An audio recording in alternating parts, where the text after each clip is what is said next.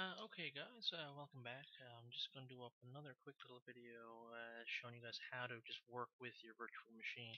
Uh, virtual machine, a bit of a weird concept for a lot of people, but you, you want to think about it like a program that pretends to be a computer inside your computer that lets another computer run in there. So once you have a virtual machine going, as far as everything else is concerned, you got two different computers running. They just happen to be running on the same piece of equipment at the same time.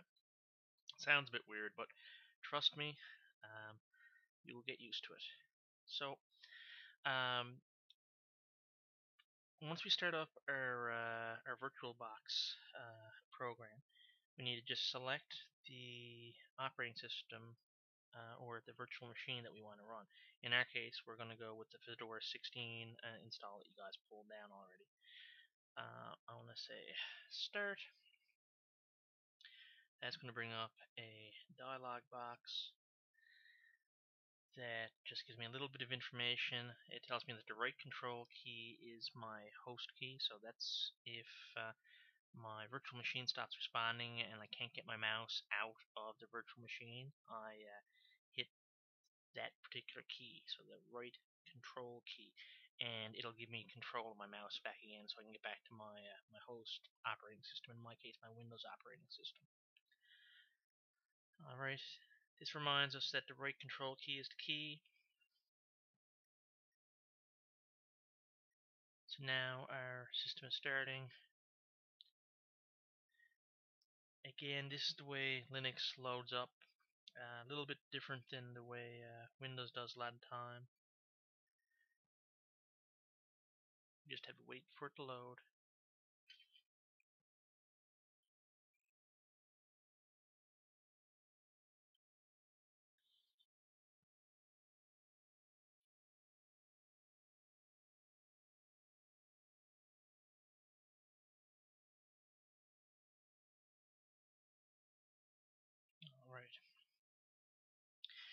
Now, at this point, we're going to be able to log in to Linux as one of the three users that we have created. Now, keep in mind, um, one of the users is called is the super user. is not going to appear on this particular uh, list that we get. Uh, you do see owner and Edward B. Edward B is just there, so if something weird happens, I can kind of go in and uh, set some stuff up if I got to. Uh, the owner one is the one you guys are going to be using most often. It won't let you log in as the super user uh, to this particular spot.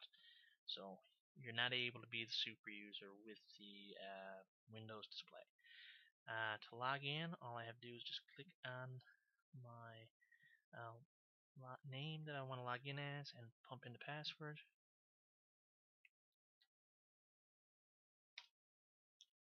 Then we log in.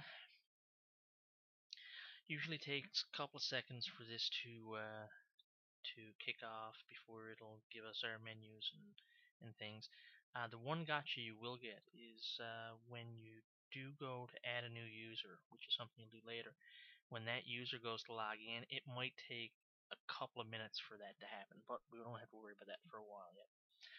Um, now, if you didn't want to log into the graphical user interface by using the left control key, Alt and F2, here I can log in as the um, ah, brain just turned off on me. Uh, here I can log in as a super user. So if I want to log in as a super user, to log in here, root password zero one. Notice when you're putting your password in this particular spot that you don't see anything, that's by design, so it just doesn't show any entries at all for the password, so you can't guess how many characters or, or someone's typed or anything. So if I want to go back to my Windows version, I go Control Alt F1. Again, remember the right, uh, the left control, not the right control button. And if I want to go back to my terminal entry, it's uh, Control Alt F2. I can go all the way up to Control Alt F6, um, and I can have a different person logged in at each of these con controls. Now, the one thing you'll find out when you uh, go to do this is if you have someone logged in at one of the other controls, uh, shutting down your system is not going to work the way you expect. Because normally you can go in, you can just shut down your system here. Like uh, you click on your name, go down to shut down the system, and uh, it'll ask if you want to shut it down or not. I'll say, okay, let's shut her down. And because someone else is logged in, it's not letting you shut it down. So we can cancel that. But because you said for it to shut down, it's probably going to log you out. Okay, so you've been logged out here now. Um, I'll just quickly log back in.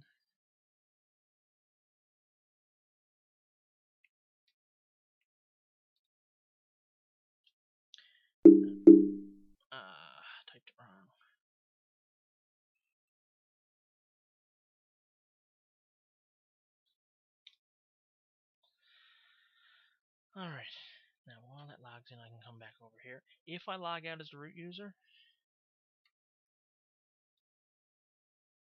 then come back over to here, I should be in, but this is the one little spot where things do glitch every now and again, and when they do, you have to go back in as the root user. Actually, I'm not going to do it that way. I'll come back over here. Um, so if that does happen to you, just go Control Alt and hit backspace. And that usually fixes your problem. If it doesn't, then go Control Alt F2 and log in as a root user. Um,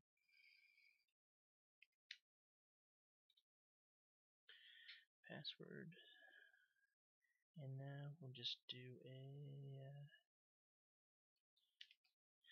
I can run a shutdown command from here, and it'll give me a warning to say that um, shutdown scheduled. Uh, I need to kind of. I'm supposed to give it a parameter, so it'll tell me when the, the shutdown is scheduled for, uh, which is Monday 9th, 22:59. So that's in about one minute. So the default time for this particular setup is a minute. Uh, once that happens, if I want to stop that from happening, I can do shutdown minus shutdown minus C. That cleared my shutdown. If I wanted to shut down right away, minus H now, that's going to shut me down altogether. Alright, um, there we go. So, we'll start her up again right quick.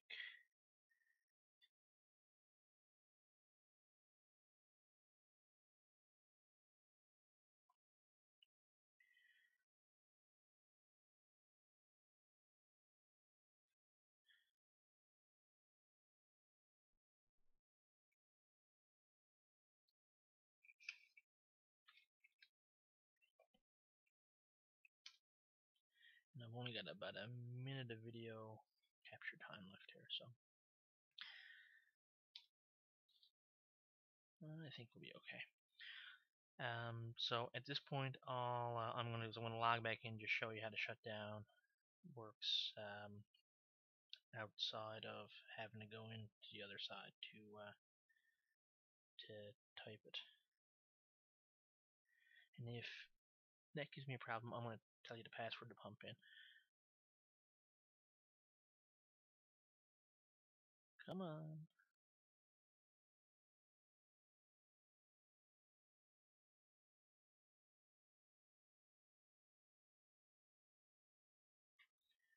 Alright, we'll be playing against the clock here, I think.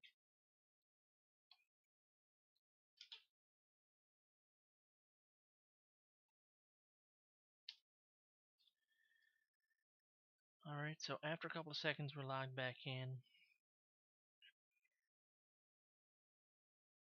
Come on.